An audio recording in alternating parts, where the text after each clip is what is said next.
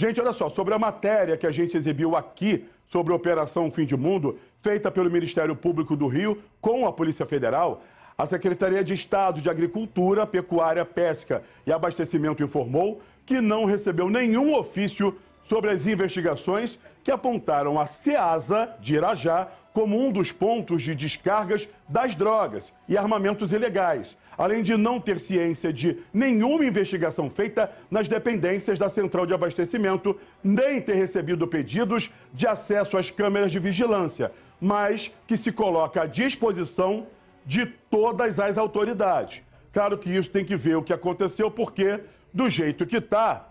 com certeza, gente, não dá.